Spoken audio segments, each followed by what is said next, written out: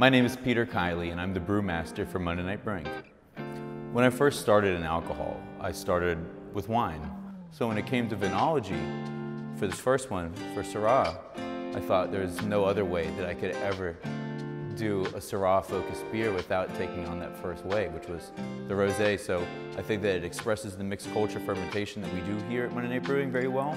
I think it's gonna be a great jumping off point for the series of Vinology.